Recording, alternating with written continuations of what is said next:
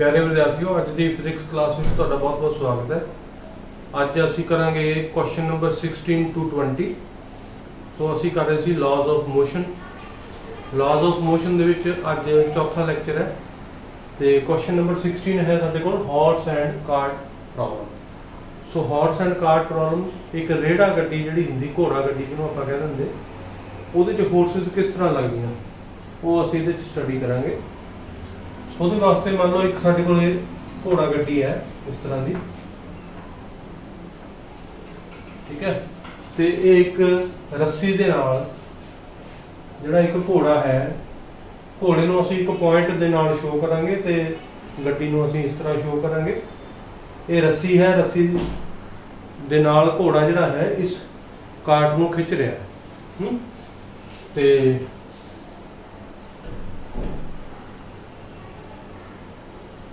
ਜਿਹੜੀ ਸਭ ਤੋਂ ਪਹਿਲੀ ਫੋਰਸ ਹੈ ਉਹ ਹੈ ਕਿ ਜਦੋਂ ਅਹ, ਜਿਸ ਤਰ੍ਹਾਂ ਅਸੀਂ Newton's third law of motion ਪੜ੍ਹਿਆ ਸੀਗਾ to every action there is an equal and opposite reaction so ਅਸੀਂ ਪੜ੍ਹਿਆ ਸੀ ਕਿ ਜਿਸ ਤਰ੍ਹਾਂ ਅਸੀਂ ਚੱਲਦੇ ਹਾਂ ਮੰਨ ਲਓ ਇਹ ਇਹ ਮੰਨ ਲਓ ਪੈਰ ਹੈ ਸਾਡਾ ਠੀਕ ਹੈ ਨਾ ਇਹ ਪੈਰ ਹੈ ਸਾਡਾ ਇਹਦਾ ਠੀਕ ਹੈ ਤੇ ਅਸੀਂ ਇਸ ਪੈਰ ਦੇ ਨਾਲ ਧਰਤੀ ਨੂੰ ਦਬਾਉਂਦੇ ਹਾਂ ਪਿੱਛੇ ਨੂੰ ਮਤਲਬ ਇਸ ਐਂਗਲ ਦੇ ਉੱਪਰ ਅਸੀਂ ਫੋਰਸ ਲਗਾਉਂਦੇ ਹਾਂ ਤਾਂ ਠੀਕ ਹੈ ਨਾ ਇਹ ਐਂਗਲ ਦੇ ਉੱਪਰ ਫੋਰਸ ਲਗਾਉਂਦੇ ਹਾਂ ਇਸੇ ਤਰ੍ਹਾਂ ਜਿਹੜਾ ਹਾਰਸ ਹੈ ਉਹ ਵੀ ਇਸ ਐਂਗਲ ਦੇ ਉੱਪਰ ਫੋਰਸ ਲਗਾਉਂਦਾ ਤਾਂ ਹੀ ਉਹ ਅੱਗੇ ਚੱਲ ਪਾਉਂਦਾ ਕਿਉਂਕਿ to every action there is an equal and opposite reaction ਦੇ ਵਿੱਚ ਜਦੋਂ ਹਾਰਸ ਜਿਹੜਾ ਹੈ ਉਹ ਧਰਤੀ ਨੂੰ ਆਪਣੇ ਪੈਰ ਦੇ ਨਾਲ ਪਿੱਛੇ ਨੂੰ ਧਕੇਲੇਗਾ ਤਾਂ ਹੀ ਉਹ ਅੱਗੇ ਵੱਧ ਸਕੇਗਾ ਸੋ ਇਸ ਐਂਗਲ ਤੇ ਫੋਰਸ ਲਗਾ ਰਿਹਾ ਉਹ ਤੇ ਇਸ ਫੋਰਸ ਦਾ ਜਿਹੜਾ ਨਾਰਮਲ ਰਿਐਕਸ਼ਨ ਹੈ, ਉਹ ਬਿਲਕੁਲ ਇਹਦੇ ਆਪੋਜ਼ਿਟ ਹੋਏਗਾ, ਜਿਹਨੂੰ ਅਸੀਂ R ਕਹਾਂਗੇ। ਠੀਕ ਹੈ? ਤੇ ਇਸ R ਨੂੰ ਹੁਣ ਅਸੀਂ ਰਿਜ਼ੋਲਵ ਕਰ ਲਾਂਗੇ ਕੰਪੋਨੈਂਟਸ ਦੇ ਵਿੱਚ। ਇੱਕ ਹੌਰੀਜ਼ੌਂਟਲ ਕੰਪੋਨੈਂਟ ਤੇ ਇੱਕ ਵਰਟੀਕਲ ਕੰਪੋਨੈਂਟ ਤੇ ਹੌਰੀਜ਼ੌਂਟਲ ਤੇ ਵਰਟੀਕਲ ਕੰਪੋਨੈਂਟ ਜਿਹੜੇ ਹੁੰਦੇ, ਜਿਸ ਤਰ੍ਹਾਂ ਮੰਨ ਲਓ ਇੱਕ ਟੋਏ ਹੈ। ਕਈ ਵਾਰੀ ਬੱਚੇ ਜਿਹੜੇ ਆ ਟੋਏ ਦੇ ਨਾਲ ਰੱਸੀ ਬੰਨ੍ਹ ਕੇ ਉਹਨਾਂ ਨੂੰ ਚਲਾਉਂਦੇ ਆ ਟੌਇਜ਼ ਨੂੰ। ਸੋ ਜਿਸ ਤਰ੍ਹਾਂ ਮੰਨ ਲਓ ਇਹ ਟੌਏ ਹੈ ਇਹਨੂੰ ਇੱਕ ਰੱਸੀ ਬੰਨੀ ਹੋਈ, ਇੱਕ ਬੱਚਾ ਇਹਨੂੰ ਇੱਧਰ ਖਿੱਚ ਰਿਹਾ, ਇੱਧਰਲੇ ਪਾਸੇ ਫੋਰਸ ਲਗਾ ਰਿਹਾ ਉਹ, ਇਸ ਤਰ੍ਹਾਂ। ਪਰ ਜਿਹੜਾ ਟੌਏ ਹੈ ਉਹ ਉੱਪਰਲੇ ਵਾਲੇ ਪਾਸੇ ਨਹੀਂ ਜਾ ਰਿਹਾ, ਜਦੋਂ ਕਿ ਫੋਰਸ ਥੋੜੀ ਅਪਵਰਡ ਲੱਗ ਰਹੀ ਹੈ। ਠੀਕ ਹੈ? ਟੌਏ ਜਿਹੜਾ ਹੈ, ਉਹ ਹੌਰੀਜ਼ੌਂਟਲੀ ਜਾ ਰਿਹਾ। ਠੀਕ ਹੈ ਨਾ? ਤੇ ਜਦੋਂ ਇਸੇ ਫੋਰਸ ਨੂੰ ਅਸੀਂ, ਮਤਲਬ ਇਹਦੇ ਹੌਰੀਜ਼ੌਂਟਲ ਕੰਪੋਨੈਂਟ ਦੇ ਅਲੋਂਗ ਦੇਖਾਂਗੇ ਕਿ ਕਿੰਨੀ ਹੈ ਫੋਰਸ ਤਾਂ ਸਾਨੂੰ ਇਹਦੇ ਵਿੱਚ ਐਂਗਲ ਦੇਖਣਾ ਪੈਣਾ ਕਿ ਕਿੰਨਾ ਐਂਗਲ ਹੈ। ਸਪੋਜ਼ ਥੀਟਾ ਐਂਗਲ ਬਣ ਰਿਹਾ। ਹੁਣ ਅਕੋਰਡਿੰਗ ਟੂ ਟ੍ਰਿਗਨੋਮੈਟ੍ਰਿਕ ਲਾਸ ਅਸੀਂ ਕਹਿੰਦੇ ਕਿ base over hypotenuse is equal to cos theta so ਇਹ ਜਿਹੜਾ ਬੇਸ ਹੈ ਜੇ ਮੰਨ ਲਓ ਇਹਨੂੰ ਮੈਂ b ਲਿਖ ਲਵਾਂ ਤਾਂ b over f is equal to cos theta ਹੋ ਜਾਏਗਾ ਠੀਕ ਹੈ ਨਾ b over f is equal to cos theta ਤੇ b ਕਿੰਨਾ ਹੋ ਜਾਏਗਾ f cos ਥੀਟਾ ਮਤਲਬ ਕਹਿਣ ਦਾ ਇਹ ਹੈ ਕਿ ਜਿਹੜਾ ਇਹਦਾ ਹੌਰੀਜ਼ੌਂਟਲ ਕੰਪੋਨੈਂਟ ਹੋਏਗਾ ਇਸ ਫੋਰਸ ਦਾ ਜਿਹੜਾ ਕਿ ਬੱਚਾ ਇਹ ਲਗਾ ਰਿਹਾ ਇਹਨੂੰ ਧਾਗੇ ਨੂੰ ਪਕੜ ਕੇ ਤਾਂ ਹੌਰੀਜ਼ੌਂਟਲ ਕੰਪੋਨੈਂਟ ਇਹਦਾ ਕਿੰਨਾ ਹੋ ਜਾਏਗਾ? F cos ਥੀਟਾ ਹੋ ਜਾਏਗਾ। ਠੀਕ ਹੈ ਨਾ? ਸੋ ਇਸ, ਇਸੇ ਤਰੀਕੇ ਨਾਲ ਹੁਣ ਜਿੱਦਾਂ ਇੱਥੇ ਜਿਹੜੀ ਫੋਰਸ ਹੈ, ਮਤਲਬ ਇਸ ਫੋਰਸ ਦਾ ਬਿਲਕੁਲ ਆਪੋਜ਼ਿਟ ਰਿਐਕਸ਼ਨ ਜਿਹੜਾ ਉਹ r ਹੈ। ਠੀਕ ਹੈ? ਜਦੋਂ ਇਸ r ਨੂੰ ਅਸੀਂ ਇਹਨੂੰ ਰਿਜ਼ੋਲਵ ਕਰਾਂਗੇ ਕੰਪੋਨੈਂਟ ਦੇ ਵਿੱਚ, ਤਾਂ ਇਹਦਾ ਹੌਰੀਜ਼ੌਂਟਲ ਕੰਪੋਨੈਂਟ ਕਿੰਨਾ ਹੋ ਜਾਏਗਾ? R cos ਥੀਟਾ ਹੋ ਜਾਏਗਾ। ਠੀਕ ਹੈ? ਸੋ ਇਹਨੂੰ ਅਸੀਂ h ਕਹਿ ਦਿੰਦੇ। ਕਿਉਂਕਿ ਇਹ ਹੌਰੀਜ਼ੌਂਟਲ ਫੋਰਸ ਹੈ। ਜਾਂ ਇਹ ਕਹਿ ਲਓ ਕਿ ਹਾਰਸ ਇਸ ਸਾਈਡ ਨੂੰ ਫੋਰਸ ਲਗਾ ਰਿਹਾ, ਸੋ ਬਿਲਕੁਲ ਹੌਰੀਜ਼ੌਂਟਲ ਡਾਇਰੈਕਸ਼ਨ ਦੇ ਵਿੱਚ h ਫੋਰਸ ਹੈ, ਜਿਹੜੀ ਕਿ ਕਿਹਦੇ ਇਕੁਅਲ ਹੈ? ਆਰ cos ਥੀਟਾ ਦੇ। ਤੇ ਹੁਣ ਆ ਗਏ, ਆ ਜਾਓ ਵਰਟੀਕਲ ਵਾਲੇ ਪਾਸੇ। ਜੇ ਅਸੀਂ ਬਿਲਕੁਲ ਇਹਦਾ ਵਰਟੀਕਲ ਕੰਪੋਨੈਂਟ ਦੇਖਣਾ ਹੋਵੇ, ਠੀਕ ਹੈ, ਤਾਂ ਇਹੀ ਜਿਹੜਾ ਹੈ, ਹੁਣ ਕਿਉਂਕਿ ਜੇ ਪੂਰਾ ਐਂਗਲ 90 ਡਿਗਰੀ ਹੈ, ਇਹ- ਇਹ ਐਂਗਲ ਥੀਟਾ ਹੈ, ਠੀਕ ਹੈ, ਤੇ ਆਹ ਵਾਲਾ ਐਂਗਲ ਕਿੰਨਾ ਹੋ ਗਿਆ? 90 ਮਾਈਨਸ ਥੀਟਾ ਠੀਕ ਹੈ ਨਾ? ਇਹ ਵਾਲਾ ਐਂਗਲ ਕਿੰਨਾ ਹੋ ਗਿਆ?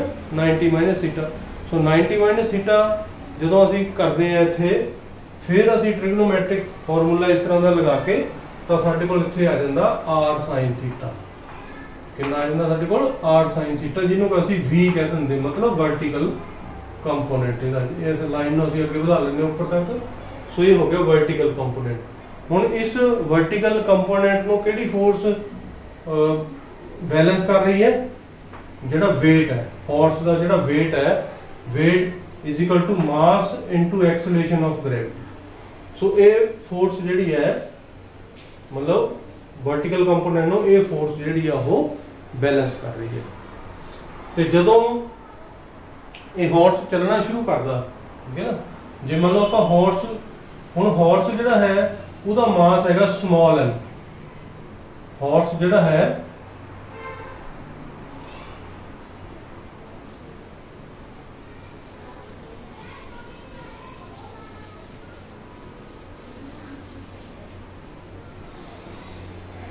ਇਹ ਜਿਹੜਾ ਹਾਰਸ ਹੈ, ਉਹਦਾ ਮਾਸ ਹੈ ਸਮਾਲ m ਤੇ ਜਿਹੜਾ ਇਹ ਕਾਰਟ ਹੈ, ਇਹਦਾ ਮਾਸ ਹੈ ਕੈਪੀਟਲ M ਠੀਕ ਹੈ? ਤੇ ਜਦੋਂ ਹਾਰਸ ਜਿਹੜਾ ਹੈ, ਇਸ ਰੱਸੀ ਨੂੰ ਪੁੱਲ ਕਰੇਗਾ, ਤਾਂ ਜਿਹੜੀ ਟੈਂਸ਼ਨ ਹੈ, ਕਿਉਂਕਿ ਉਸ ਸਟ੍ਰਿੰਗ ਦੇ ਵਿੱਚ ਤਣਾਅ ਪੈਦਾ ਹੋਏਗਾ ਟੈਨਸ਼ਨ ਪੈਦਾ ਹੋਏਗੀ, ਤਾਂ ਉਹ ਕਿਹੜੀ ਡਾਇਰੈਕਸ਼ਨ ਨੂੰ ਹੋਏਗੀ? ਬੈਕਵਰਡ ਆਪੋਜ਼ਿਟ ਟੂ ਦਾ ਜਿਸ ਪੁਆਇੰਟ ਤੇ ਆਪਾਂ ਕੈਲਕੂਲੇਟ ਕਰ ਰਹੇ ਹਾਂ, ਉਹਦੇ ਆਪੋਜ਼ਿਟ ਜਿਹੜੀ ਹੈ, ਉਹ ਟੀ ਜਿਹੜਾ ਟੈਨਸ਼ਨ ਜਿਹੜੀ ਹੈ, ਇਸ ਸਟ੍ਰਿੰਗ ਦੇ ਵਿੱਚ ਪ੍ਰੋਡਿਊਸ ਹੋਏਗੀ। ਠੀਕ ਹੈ? ਤੇ ਜਦੋਂ ਇਹ ਕਾਰਟ ਨੂੰ ਖਿੱਚਿਆ ਜਾਏਗਾ, ਮਤਲਬ ਕਾਰਟ ਦੇ ਉੱਪਰ ਅਸੀਂ ਦੇਖਾਂਗੇ ਤਾਂ ਕਾਰਟ ਤੋਂ ਇਹਦੇ ਆਪੋਜ਼ਿਟ ਫੋਰਸ ਹੋਏਗੀ, ਉਹਨੂੰ ਵੀ ਅਸੀਂ ਟੀ ਕਹਿ ਦਿਆਂਗੇ। ਠੀਕ ਹੈ? ਸੋ ਇਹ ਇੱਕ ਦੂਜੇ ਦੇ ਇਕੁਅਲ ਐਂਡ ਆਪੋਜ਼ਿਟ ਹੋ ਜਾਂਦੀਆਂ, ਦੋਨੇ ਫੋਰਸਸ ਹੁਣ ਆਪਾਂ ਪਿੱਛੇ ਪੜ੍ਹਿਆ ਸੀਗਾ ਕਿ ਫੋਰਸਸ ਹਮੇਸ਼ਾ ਪੇਅਰ ਦੇ ਵਿੱਚ ਜਿਹੜੀਆਂ ਹੁੰਦੀਆਂ, ਹੁਣ ਦੇਖੋ ਇਹ T ਔਰ T ਦੋਨਾਂ ਦਾ ਪੇਅਰ ਬਣ ਗਿਆ। ਇਸੇ ਤਰ੍ਹਾਂ V ਤੇ mg ਦਾ ਪੇਅਰ ਬਣ ਗਿਆ, ਇਸੇ ਤਰ੍ਹਾਂ r ਔਰ f ਦਾ ਪੇਅਰ ਬਣ ਗਿਆ। ਠੀਕ ਹੈ ਨਾ? ਤੇ ਜਿਹੜਾ h ਹੈ, ਜਦੋਂ ਇਹ h ਫੋਰਸ ਅੱਗੇ ਨੂੰ ਲੱਗੇਗੀ, ਜਿਹੜਾ ਇਹ ਕਾਟ ਅੱਗੇ ਚੱਲੇਗਾ, ਤਾਂ ਇੱਕ ਫੋਰਸ ਆਫ ਫ੍ਰਿਕਸ਼ਨ ਜਿਹੜੀ ਆ ਉਹ ਬੈਕਵਰਡ ਲੱਗੇਗੀ। ਕਿਉਂਕਿ ਜਦ ਜਿੱਦਾਂ ਕਾਰਟ ਨੇ ਚੱਲਣਾ ਸ਼ੁਰੂ ਕਰਨਾ ਆਟੋਮੈਟਿਕਲੀ ਜਿਹੜੀ ਫੋਰਸ ਆਫ ਫ੍ਰਿਕਸ਼ਨ ਹੈ, ਉਹ ਬੈਕਵਰਡ ਲੱਗੇਗੀ। ਸੋ ਇਹ ਇਹ ਵੀ ਇੱਕ ਪੇਅਰ ਬਣ ਗਿਆ h ਔਰ f ਦਾ। ਠੀਕ ਹੈ? ਤੇ ਹੁਣ ਅਸੀਂ ਇਕੁਏਸ਼ਨਸ ਬਣਾਉਂਦੇ ਆ ਇਹਦੀਆਂ। ਸੋ ਪਹਿਲਾਂ ਅਸੀਂ ਗੱਲ ਕਰਾਂਗੇ ਹਾਰਸ ਦੀ। ਹੁਣ ਜਿਹੜਾ ਹਾਰਸ ਹੈ, ਜਦੋਂ ਹਾਰਸ ਨੇ ਚੱਲਣਾ ਸ਼ੁਰੂ ਕੀਤਾ, ਠੀਕ ਹੈ, ਤਾਂ ਉਹ ਅੱਗੇ ਕਦੋਂ ਵੱਧ ਪਾਏਗਾ? ਜਦੋਂ ਇਹ ਜਿਹੜੀ H ਫੋਰਸ ਹੈ, ਜਿਹੜਾ ਹਾਰਸ ਲਗਾ ਰਿਹਾ ਹੌਰੀਜ਼ੌਂਟਲ ਕੰਪੋਨੈਂਟ ਦੀ ਜਿਹੜੀ ਫੋਰਸ ਹੈ, ਉਹ ਗ੍ਰੇਟਰ ਹੋਏਗੀ ਉਹ ਗ੍ਰੇਟਰ ਹੋਏਗੀ ਕਿਹਦੇ ਤੋਂ? T ਤੋਂ। ਇਹ ਤੋਂ ਗ੍ਰੇਟਰ ਹੋਏਗੀ, T ਤੋਂ ਗ੍ਰੇਟਰ ਹੋਏਗੀ। ਸੋ ਤੇ ਇਹਨਾਂ ਦਾ ਜਿਹੜਾ ਡਿਫਰੈਂਸ ਹੈ, h t ਕਿੰਨਾ ਹੋ ਜਾਏਗਾ? ਕਿਉਂਕਿ ਅੱਗੇ ਵੱਲ ਵੱਧ ਰਿਹਾ horse so m a what is a? A ਹੈ ਐਕਸਲੇਸ਼ਨ ਕਿ ਜਿਸ ਐਕਸਲੇਸ਼ਨ ਦੇ ਨਾਲ ਹਾਰਸ ਅੱਗੇ ਵਧੇਗਾ। ਸੋ ਇੱਕ ਇਕੁਏਸ਼ਨ ਸਾਡੇ ਕੋਲ ਇਹ ਆ ਗਈ। ਜਿਹਨੂੰ ਅਸੀਂ ਕਹਿੰਦੇ ਹੁੰਦੇ ਨੰਬਰ 1 ਇਕੁਏਸ਼ਨ ਠੀਕ ਹੈ, ਫਿਰ ਅਸੀਂ ਆ ਗਏ ਕਾਰਟ ਵਾਲੇ ਪਾਸੇ। ਜਿਹੜਾ ਕਾਰਟ ਹੈ, ਉਹ ਅੱਗੇ ਕਦੋਂ ਵੱਧ ਪਾਏਗਾ? ਜਦੋਂ ਇਹ t ਜਿਹੜਾ ਹੈ, ਮੈਂ ਤੁਹਾਨੂੰ ਦੱਸਿਆ ਨਾ ਕਿ ਆਪੋਜ਼ਿਟ ਜਿਹੜੀ ਟੈਂਸ਼ਨ ਹੈ, ਜਿਹੜਾ ਤਣਾਅ ਹੈ, ਉਹ ਆਪੋਜ਼ਿਟ ਟੂ that ਆਬਜੈਕਟ ਹੋਏਗਾ ਜਿਹਦੀ ਅਸੀਂ ਗੱਲ ਕਰ ਰਹੇ ਹਾਂ। ਮੰਨ ਲਓ ਅਸੀਂ ਕਾਰਡ ਦੀ ਗੱਲ ਕਰ ਰਹੇ ਹਾਂ, ਤਾਂ ਇਹਦਾ ਮਤਲਬ ਇਸ ਵਾਲੇ t ਦੀ ਗੱਲ ਕਰ ਰਹੇ ਹਾਂ। ਜੇ ਅਸੀਂ ਐਚ ਦੀ ਗੱਲ ਕਰ ਰਹੇ ਹਾਂ, ਤਾਂ ਮਤਲਬ ਇਸ ਵਾਲੇ t ਦੀ ਗੱਲ ਕਰ ਰਹੇ ਹਾਂ। ਠੀਕ ਹੈ ਨਾ? ਕਿਉਂਕਿ ਜਿਸ ਵੀ ਅਸੀਂ ਫੋਰਸ ਦੀ ਗੱਲ ਕਰਾਂਗੇ, ਜਿਸ ਵੀ ਪੁਆਇੰਟ ਦੀ ਗੱਲ ਕਰਾਂਗੇ ਕਿ ਕਿੱਥੋਂ ਅਸੀਂ ਫੋਰਸਸ ਨੂੰ ਕੈਲਕੂਲੇਟ ਕਰਨਾ, ਤਾਂ t ਉਹਦੇ ਆਪੋਜ਼ਿਟ ਹੋਏਗੀ। ਹੁਣ ਜਿਹੜਾ ਕਾਰਡ ਹੈ ਉਹ ਕਦੋਂ ਅੱਗੇ ਚਲੇਗਾ? ਜਦੋਂ ਇਹ ਵਾਲੀ t ਜਿਹੜੀ ਹੈ ਇਹ ਵਾਲੀ t ਜਿਹੜੀ ਹੈ, f ਨਾਲੋਂ ਵੱਡੀ ਹੋਏਗੀ, ਕਿਉਂਕਿ force of friction back side ਤੇ ਲੱਗ ਰਹੀ ਬੈਕਵਰਡ ਲੱਗ ਰਹੀ, ਤੇ ਜਿਹੜੀ ਇਹ ਟੈਂਸ਼ਨ ਫੋਰਸ ਹੈ, ਇਹ ਫਾਰਵਰਡ ਲੱਗ ਰਹੀ।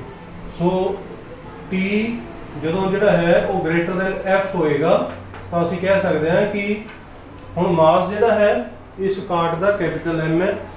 ਤੇ ਇਹ ਕਿਸ ਐਕਸਲੇਸ਼ਨ ਨਾਲ ਅੱਗੇ ਜਾ ਰਿਹਾ? A ਐਕਸਲੇਸ਼ਨ ਨਾਲ। ਜੋ ਹਾਰਸ ਦਾ ਐਕਸਲੇਸ਼ਨ ਸੀ, ਉਹੀ ਕਾਰਟ ਦਾ ਐਕਸਲੇਸ਼ਨ ਹੈ। ਸੋ ਜੇ ਅਸੀਂ ਇੱਥੋਂ ਇਕੁਏਸ਼ਨ ਬਣਾਈਏ, ਤਾਂ ਇਹ ਇਹ ਗ੍ਰੇਟਰ ਦੈਨ ਹੋ ਗਿਆ। ਜੇ ਅਸੀਂ ਇੱਥੋਂ ਇਕੁਏਸ਼ਨ ਬਣਾਈਏ, ਤਾਂ ਸਾਡੇ ਕੋਲ ਬਣੀ t f capital M a so equation number 2 ਆ ਗਈ ਸਾਡੇ ਕੋਲ। ਠੀਕ ਹੈ ਨਾ? ਹੁਣ ਅਸੀਂ ਇਹ 1 ਤੇ 2 ਨੂੰ ਦੋਨਾਂ ਨੂੰ ਐਡ ਕਰ ਦਿਆਂਗੇ। ਤੇ ਜਦੋਂ ਅਸੀਂ ਐਡ ਕਰਾਂਗੇ ਤਾਂ ਸਾਡੇ ਕੋਲ ਬਣ ਜਾਏਗਾ h t t f ma capital M a so ਇੱਥੇ -t ਤੇ +t ਇੱਕ ਦੂਜੇ ਨਾਲ ਕੈਨਸਲ ਹੋ ਜਾਣਗੇ। ਤੇ ਬਾਕੀ ਬਚਾ ਸਾਡੇ ਕੋਲ ਕੈਪੀਟਲ H f ਇੱਥੋਂ ਅਸੀਂ m ਜਿਹੜਾ ਹੈ ਸੌਰੀ ਇੱਥੋਂ ਅਸੀਂ a ਜਿਹੜਾ ਹੈ ਉਹ ਕਾਮਨ ਲੈ ਲਾਂਗੇ ਤੇ ਬਾਕੀ ਆ ਗਿਆ ਸਾਡੇ ਕੋਲ small m capital M small m is the mass of horse and capital M is mass of cart so ਜੇ ਅਸੀਂ ਤੋਂ ਐਕਸਲੇਸ਼ਨ ਫਾਈਂਡ ਕਰਨਾ ਹੋਵੇ ਤਾਂ ਐਕਸਲੇਸ਼ਨ ਇਜ਼ ਇਕੁਅਲ ਟੂ ਕਿੰਨਾ ਆ ਗਿਆ? H minus f divided by small m plus capital M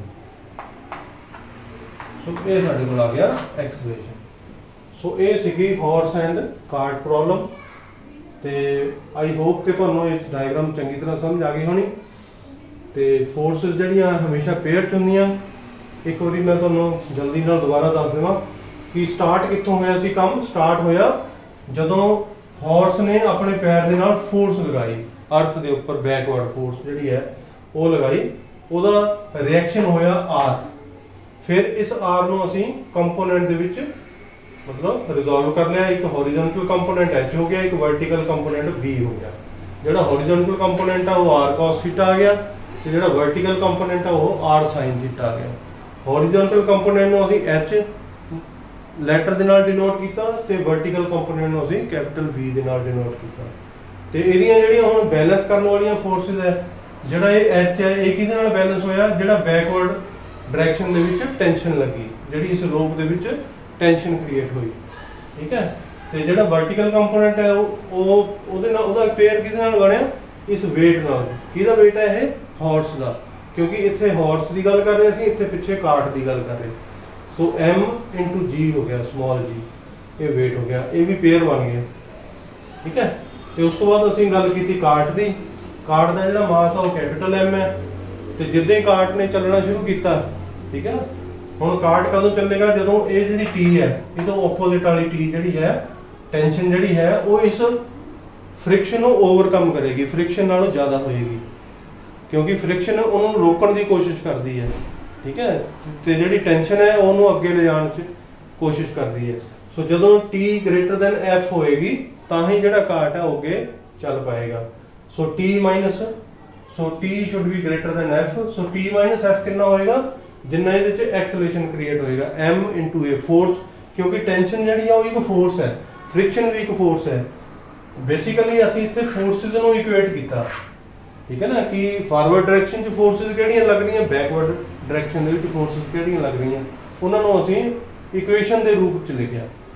ਠੀਕ ਹੈ ਨਾ? ਸੋ ਜਦੋਂ ਇਹ ਫੋਰਸਸ ਨੂੰ ਲਿਖਿਆ ਤਾਂ ਸਾਡੇ ਕੋਲ ਦੋ ਇਕੁਏਸ਼ਨਸ ਬਣ ਗਈਆਂ। ਪਹਿਲੀ ਬਣ ਗਈ h t ma ਤੇ ਦੂਜੀ ਬਣੀ t f capital M a ਇਹ ਕਾਟ ਵਾਸਤੇ ਇਕੁਏਸ਼ਨ ਬਣੀ, ਇਹ ਹਾਰਸ ਵਾਸਤੇ ਬਣੀ। ਫਿਰ ਅਸੀਂ ਇਹਨਾਂ ਦੋਨਾਂ ਨੂੰ ਐਡ ਕਰ ਲਿਆ। ਇਹਦੇ 'ਚ ਸਾਡੇ ਕੋਲ -t ਸੀਗਾ, ਇੱਥੇ ਸਾਡੇ ਕੋਲ +t ਸੀਗਾ। ਤੇ -t ਤੇ +t ਦੋਨੇ ਇੱਕ ਦੂਜੇ ਨਾਲ ਕੈਨਸਲ ਆਊਟ ਹੋ ਗਏ।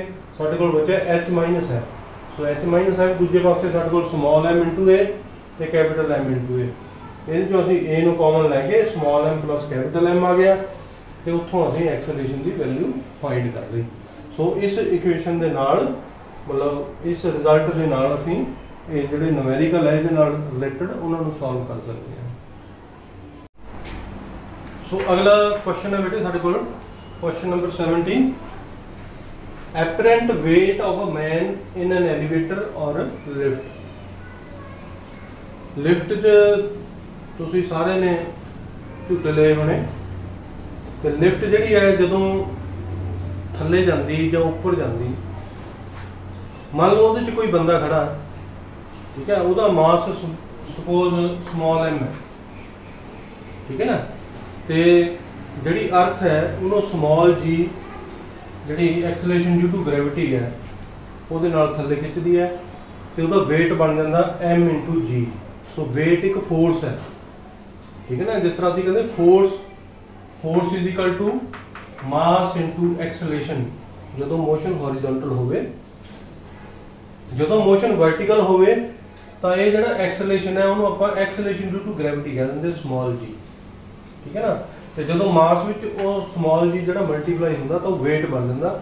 ਸੋ ਜਿਸ ਤਰ੍ਹਾਂ ਹੌਰੀਜ਼ੌਂਟਲ ਵਾਸਤੇ ਫੋਰਸ m a ਹੈ ਮਾਸ ਐਕਸਲੇਸ਼ਨ ਹੈ, ਤੇ ਵਰਟੀਕਲ ਵਾਸਤੇ ਜਿਹੜਾ weight ਹੈ, that is the force, which is equal to mass into acceleration due to gravity ਤੇ ਜੇ ਮੰਨ ਲਓ ਅਸੀਂ ਐਲੀਵੇਟਰ ਜਿਹੜਾ ਹੈ ਸਾਡੇ ਕੋਲ, ਜਿਹੜੀ ਲਿਫਟ ਹੈ ਲਿਫਟ ਦੇ ਵਿੱਚ ਅਸੀਂ ਵੇਇੰਗ ਮਸ਼ੀਨ ਰੱਖ ਲਈ ਥੱਲੇ ਫਰਸ਼ ਦੇ ਉੱਤੇ। ਲਿਫਟ ਦੇ ਵਿੱਚ ਅਸੀਂ ਵੇਇੰਗ ਮਸ਼ੀਨ ਰੱਖ ਕੇ ਉਹਦੇ ਤੇ ਇੱਕ ਬੰਦਾ ਖੜਾ ਹੋ ਗਿਆ। ਹੁਣ ਅਸੀਂ ਇਹ ਚੈੱਕ ਕਰਾਂਗੇ ਕਿ ਜਦੋਂ ਲਿਫਟ ਉੱਪਰ ਜਾਂਦੀ ਤਾਂ ਉਸ ਬੰਦੇ ਦਾ weight ਵੱਧਦਾ ਹੈ ਜਾਂ ਘਟਦਾ ਹੈ। ਜਦੋਂ ਇਹ ਲਿਫਟ ਜਿਹੜੀ ਆ ਥੱਲੇ ਜਾਂਦੀ ਤਾਂ ਉਸ ਬੰਦੇ ਦਾ weight ਜਿਹੜਾ ਹੈ ਉਹ ਵੱਧਦਾ ਜਾਂ ਘਟਦਾ। ਵੈਸੇ ਤਾਂ ਉਹਦਾ weight ਉਹੀ ਰਹੇਗਾ ਪਰ ਕਹਿਣ ਦਾ ਮਤਲਬ ਕਿ ਅਹ, ਜਿਹੜੀ ਵੇਇੰਗ ਮਸ਼ੀਨ ਹੈ ਉਹਦੇ ਉੱਤੇ ਰੀਡਿੰਗ ਕਿੰਨੀ ਆਏਗੀ ਉਸ ਬੰਦੇ ਦਾ weight ਕਿੰਨਾ ਸ਼ੋ ਕਰੇਗੀ ਉਹ। ਠੀਕ ਹੈ? ਇਹ ਮੇਰੇ ਕੋਲ ਐਲੀਵੇਟਰ ਹੈ ਠੀਕ ਹੈ? ਲਿਫਟ ਹੈ। ਸੋ ਇੱਥੇ ਇੱਕ ਵੇਇੰਗ ਮਸ਼ੀਨ ਆਪਾਂ ਰੱਖ ਦਿੱਤੀ। ਸੋ ਜਦੋਂ ਇਹ ਵੇਇੰਗ ਮਸ਼ੀਨ ਇੱਥੇ ਰੱਖ ਦਿੱਤੀ ਇਹਦੇ ਤੇ ਇੱਕ ਬੰਦਾ ਇਸ ਤਰ੍ਹਾਂ ਖੜਾ ਹੋ ਗਿਆ। ਇਹ ਬੰਦਾ ਖੜਾ ਹੋ ਗਿਆ ਇੱਥੇ। ਤੇ ਹੁਣ ਇਸ ਬੰਦੇ ਦਾ weight ਜਿਹੜਾ, ਇਹਦਾ ਐਕਸਲੇਸ਼ਨ ਡਿਊ ਟੂ ਗ੍ਰੈਵਿਟੀ ਜਿਹੜਾ ਸੌਰੀ ਜਿਹੜਾ ਇਹਦਾ ਸੈਂਟਰ ਆਫ ਗ੍ਰੈਵਿਟੀ ਹੈ ਉਹ ਕੈਪੀਟਲ G ਇੱਥੇ ਸੈਂਟਰ 'ਚ ਹੈ। ਤੇ ਇਹਦਾ ਮਾਸ ਤੇ ਗ੍ਰੈਵਿਟੀ ਦੀ ਜਿਹੜੀ ਮਲਟੀਪਲੀਕੇਸ਼ਨ ਹੈ ਜਿਹੜਾ ਇਹਦਾ weight ਹੈ ਜਿਹਨੂੰ ਆਪਾਂ mg ਕਹਿੰਦੇ ਹਾਂ ਉਹ ਡਾਊਨਵਰਡ ਐਕਟ ਕਰੇਗਾ। ਤੇ ਇਹਨੂੰ ਬੈਲੈਂਸ ਕੌਣ ਕਰੇਗਾ? ਅਪਵਰਡ ਜਿਹੜਾ ਇਹਦਾ ਰਿਐਕਸ਼ਨ ਹੈ ਜਿਹਨੂੰ ਆਪਾਂ R ਕਹਿੰਦੇ ਹਾਂ ਠੀਕ ਹੈ? ਸਿੰਪਲ ਜੀ ਗੱਲ ਹੈ। ਕਿ weight ਜਿਹੜਾ ਉਹ ਡਾਊਨਵਰਡ ਐਕਟ ਕਰੇਗਾ ਤੇ ਉਹਦਾ ਰਿਐਕਸ਼ਨ ਜਿਹੜਾ ਆਪੋਜ਼ਿਟ ਡਾਇਰੈਕਸ਼ਨ 'ਚ ਕੈਪੀਟਲ R ਹੋਏਗਾ। ਹੁਣ ਅੱਗੇ ਤਿੰਨ ਕੇਸਿਸ ਹੈ। ਤਿੰਨ ਕੇਸਿਸ ਕਿਹੜੇ ਕਿਹੜੇ ਹੈ? ਮੰਨ ਲਓ ਇਹ ਲਿਫਟ ਜਿਹੜੀ ਹੈ ਉਹ ਵਿਦ ਸਮਾਲ a ਐਕਸਲੇਸ਼ਨ ਦੇ ਨਾਲ ਅਪਵਰਡ ਜਾ ਰਹੀ ਹੈ। ਮੰਨ ਲਓ ਲਿਫਟ ਜਿਹੜੀ ਹੈ ਉੱਪਰਲੇ ਪਾਸੇ ਜਾ ਰਹੀ ਹੈ, ਫਿਰ ਕੀ ਹੋਏਗਾ? ਹੁਣ ਜਿਹੜੀ ਅਪਵਰਡ ਰਿਐਕਸ਼ਨ ਹੈ ਉਹ ਸਾਡੇ ਕੋਲ ਕਿੰਨਾ ਸੀਗਾ? R ਤੇ ਜਿਹੜੀ ਡਾਊਨਵਰਡ ਫੋਰਸ ਲੱਗ ਰਹੀ ਹੈ, weight ਦੀ ਉਹ ਕਿੰਨੀ ਹੈ? Mg ਮਤਲਬ ਕਹਿਣ ਦਾ ਮਤਲਬ ਇਹ ਹੈ ਕਿ ਜਦੋਂ ਆਪਾਂ ਕਹਿ ਕਹੀਏ ਕਿ ਲਿਫਟ ਉੱਪਰ ਜਾ ਰਹੀ ਹੈ, ਮਤਲਬ ਜਿਹੜਾ ਅਪਵਰਡ ਰਿਐਕਸ਼ਨ ਹੈ, that will be greater than downward force upward force ਜਿਹੜੀ ਉਹ ਨਾਰਮਲ ਰਿਐਕਸ਼ਨ ਹੈ। ਡਾਊਨਵਰਡ ਫੋਰਸ ਜਿਹੜੀ ਉਹ m g ਹੈ। ਤੇ r ਗ੍ਰੇਟਰ ਹੋਏਗਾ, ਤਾਂ ਹੀ ਲਿਫਟ ਉੱਪਰ ਜਾਏਗੀ। ਠੀਕ ਹੈ ਨਾ? ਤੇ ਹੁਣ ਇਹ ਦੋਨੇ ਫੋਰਸਸ ਹੈ ਜਦੋਂ ਇਹ ਵੱਡੀ ਫੋਰਸ ਵਿੱਚੋਂ ਛੋਟੀ ਫੋਰਸ ਨੂੰ ਮਾਈਨਸ ਕੀਤਾ, r mg ਕੀਤਾ, ਤਾਂ ਕਿੰਨਾ ਆਏਗਾ ਸਾਡੇ ਕੋਲ? ਤਾਂ ਵੀ ਤਾਂ ਫੋਰਸਸ ਦਾ ਜਿਹੜਾ ਡਿਫਰੈਂਸ ਹੋਏਗਾ, ਉਹ ਵੀ ਤਾਂ ਇੱਕ ਫੋਰਸ ਹੋਏਗੀ ਨਾ। ਠੀਕ ਹੈ? ਸੋ ਜਦੋਂ ਨਾਰਮਲ ਰਿਐਕਸ਼ਨ ਵਿੱਚੋਂ weight ਜਿਹੜਾ ਮਾਈਨਸ ਕੀਤਾ ਲਿਫਟ ਜਾ ਰਹੀ ਹੈ ਉੱਪਰਲੇ ਪਾਸੇ, ਔਰ ਲਿਫਟ ਕਿੱਦਾਂ ਜਾ ਰਹੀ ਹੈ? ਐਕਸਲੇਸ਼ਨ ਸਮਾਲ ਹੈ ਦੇ ਨਾਲ। ਠੀਕ ਹੈ ਨਾ? ਤੇ ਬੰਦੇ ਦਾ ਮਾਸ ਕਿੰਨਾ? M ਤੇ ਫੋਰਸ ਕਿੰਨੀ ਬਣੀ ਫਿਰ? ਬੰਦੇ ਦਾ ਮਾਸ m ਐਕਸਲੇਸ਼ਨ ਜਿਹਦੇ ਨਾਲ ਲਿਫਟ ਚੱਲ ਰਹੀ ਹੈ। ਸੋ ਹੁਣ ਗੱਲ ਸਮਝ ਆ ਗਈ ਕਿ ਉੱਪਰ ਜਿਹੜੀ ਅਪਵਰਡ ਫੋਰਸ ਹੈ, ਉਹ ਕੈਪੀਟਲ R ਹੈ, ਜਿਹੜੀ ਡਾਊਨਵਰਡ ਫੋਰਸ ਹੈ, ਉਹ mg ਹੈ। ਉੱਪਰ ਵਾਲੀ ਫੋਰਸ ਜਿਹੜੀ ਅਪਵਰਡ ਫੋਰਸ ਜਿਹੜੀ ਹੈ, ਉਹ ਡਾਊਨਵਰਡ ਫੋਰਸ ਨਾਲੋਂ ਜ਼ਿਆਦਾ ਹੈ। ਔਰ ਉਹ ਫੋਰਸ ਕਿੰਨੀ ਜ਼ਿਆਦਾ ਹੋਏਗੀ? ਠੀਕ ਹੈ, ਜਿਸ ਫੋਰਸ ਨਾਲ ਇਹ ਲਿਫਟ ਉੱਪਰ ਜਾ ਰਹੀ ਹੈ। ਸੋ ਫੋਰਸ ਇਕੁਅਲ ਟੂ ਹੁੰਦਾ ma ਜੇ ਇਸ ਲਿਫਟ ਦਾ ਐਕਸਲੇਸ਼ਨ ਸਮਾਲ a ਹੈ, ਤਾਂ ਫੋਰਸ ਕਿੰਨੀ ਹੋਏਗੀ ਫਿਰ? M a ਹੋ ਜਾਏਗੀ। ਸੋ r mg is equal to m a ਇਸੇ ਤਰ੍ਹਾਂ ਜਿਹੜਾ ਦੂਜਾ ਕੇਸ ਹੈ ਕੇਸ 2 ਜਦੋਂ ਲਿਫਟ ਜਿਹੜੀ ਹੈ moving downward with uniform acceleration small ਹੁਣ ਲਿਫਟ ਜਿਹੜੀ ਆ ਡਾਊਨਵਰਡ ਜਾ ਰਹੀ ਹੈ। ਜਿੱਦਾਂ ਇੱਥੇ r ਵੱਡਾ ਸੀਗਾ ਅਪਵਰਡ ਫੋਰਸ ਵੱਡੀ ਸੀ ਇੱਥੇ mg ਵੱਡਾ ਹੋਏਗਾ ਸੋ ਕਹਿਣ ਦਾ ਮਤਲਬ mg is greater than r mg is greater than r so ਅਸੀਂ ਇਸ mg ਤੋਂ ਮਾਈਨਸ r ਜੇ ਕਰਾਂਗੇ mg minus r is equal to ਕਿੰਨਾ ਹੋ ਜਾਏਗਾ ma ਹੋ ਜਾਏਗਾ ਠੀਕ ਹੈ ਜਿੱਦਾਂ ਇੱਥੇ r mg mg ਸੀਗਾ ਆਰ ਕਿਉਂ ਅੱਗੇ ਆਇਆ? ਆਰ ਕਿਉਂਕਿ ਆਰ ਵੱਡਾ ਸੀ। ਲਿਫਟ ਉੱਪਰ ਜਾ ਰਹੀ ਸੀ।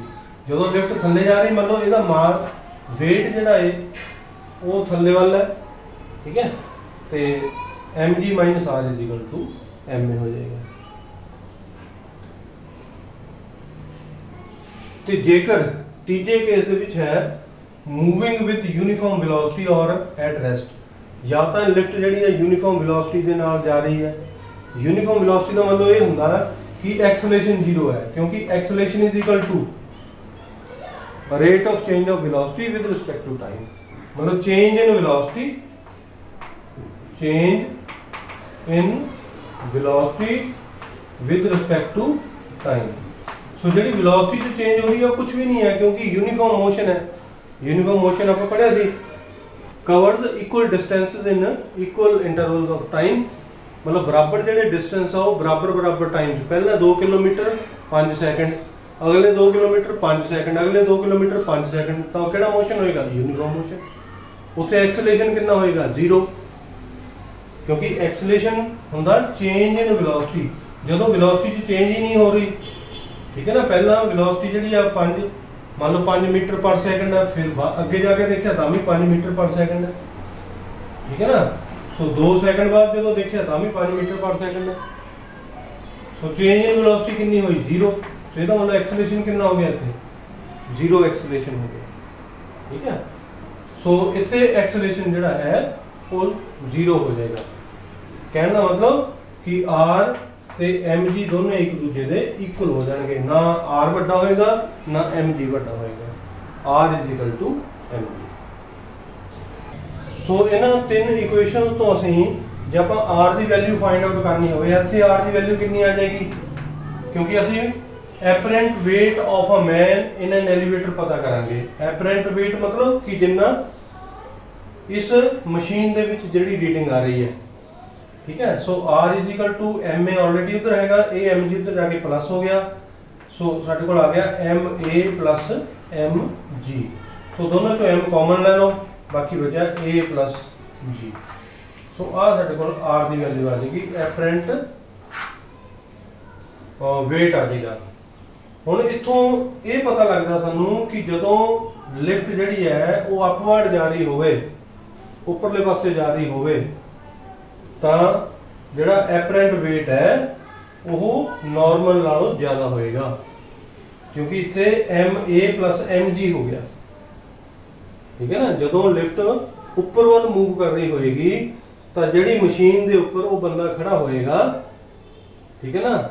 ਤੇ ਜੇ ਉਹ ਉਸ ਬੰਦੇ ਦਾ weight ਜਿਹੜਾ 50 ਕਿਲੋ ਹੈ, ਤਾਂ ਹੋ ਸਕਦਾ ਉਹ ਮਸ਼ੀਨ ਜਿਹੜੀ ਹੈ ਉਸ ਵੇਲੇ 60 ਕਿਲੋ 70 ਕਿਲੋ ਇਸ ਤਰ੍ਹਾਂ ਸ਼ੋ ਕਰੇ। ਕਿਉਂਕਿ ਲਿਫਟ ਜਿਹੜੀ ਆ ਉਹ ਅਪਵਰਡ ਜਾ ਰਹੀ ਹੈ। ਜਦੋਂ ਲਿਫਟ ਡਾਊਨਵਰਡ ਜਾਏਗੀ, ਫਿਰ ਕਿੰਨਾ ਹੋਏਗਾ? ਜੇ ਅਸੀਂ ਇੱਥੋਂ r ਦੀ ਵੈਲਿਊ ਫਾਈਂਡ ਆਊਟ ਕਰੀਏ, ਤਾਂ r r ਉਧਰ ਚਲਾ ਗਿਆ। ਸੋ mg ma ਤੇ ਦੋਨਾਂ ਚੋਂ ਜੇ m ਕਾਮਨ ਲੈ ਲਈਏ ਆਪਾਂ, ਤਾਂ ਸਾਡੇ ਕੋਲ ਬਚਿਆ g a ਹੁਣ ਦੇਖੋ, ਇੱਥੋਂ ਇਸ ਇਕੁਏਸ਼ਨ ਤੋਂ ਪਤਾ ਲੱਗਦਾ ਕਿ ਜਦੋਂ ਲਿਫਟ ਜਿਹੜੀ ਹੈ, ਉਹ ਡਾਊਨਵਰਡ ਜਾ ਰਹੀ ਹੈ। ਲਿਫਟ ਜਿਹੜੀ ਹੈ, ਉਹ ਡਾਊਨਵਰਡ ਜਾ ਰਹੀ ਹੈ। ਤਾਂ ਜੇਕਰ ਉਹ ਬੰਦਾ ਇਸ ਮਸ਼ੀਨ ਤੇ ਖੜਾ ਵੇਇੰਗ ਮਸ਼ੀਨ ਦੇ ਉੱਪਰ, ਉਸ ਬੰਦੇ ਦਾ weight ਮੰਨ ਲਓ 50 ਕਿਲੋ ਹੈ, ਤਾਂ ਉਹ ਘੱਟ ਸ਼ੋ ਕਰੇਗਾ। ਐਪਰੈਂਟ weight ਜਿਹੜਾ ਉਹ ਘੱਟ ਹੋਏਗਾ ਨਾਰਮਲ ਨਾਲੋਂ। ਜੇ ਮੰਨ ਲਓ 50 ਕਿਲੋ ਤਾਂ 40 ਕਿਲੋ 30 ਕਿਲੋ ਇਸ ਤਰ੍ਹਾਂ ਘੱਟ ਸ਼ੋ ਕਰੇਗਾ। ਔਰ ਜੇ ਉਹ ਯੂਨੀਫਾਰਮ ਮੋਸ਼ਨ ਨਾਲ ਜਾ ਰਹੀ ਹੈ, ਜਿਹੜੀ ਲਿਫਟ ਹੈ, ਫਿਰ r mg ਹੀ ਹੋਏਗਾ। ਫਿਰ ਉਹਦੇ weight 'ਚ ਕੋਈ ਫ਼ਰਕ ਨਹੀਂ ਹੋਏਗਾ। ਜਿੰਨਾ ਉਸ ਬੰਦੇ ਦਾ ਐਕਚੁਅਲ weight ਹੈ ਉਨਾ ਹੀ ਰਹੇਗਾ। ਸੋ ਇਹਦੇ 'ਚ ਇੱਕ ਚੌਥਾ ਕੇਸ ਹੋਰ ਹੈ। ਕੇਸ ਨੰਬਰ 4 ਉਹ ਹੈ ਕਿ ਜਦੋਂ ਲਿਫਟ ਜਿਹੜੀ ਉਹ ਫ੍ਰੀਲੀ ਫਾਲ ਕਰ ਰਹੀ ਹੋਵੇ ਫ੍ਰੀਲੀ ਫਾਲ ਕਰ ਰਹੀ ਹੋਵੇ।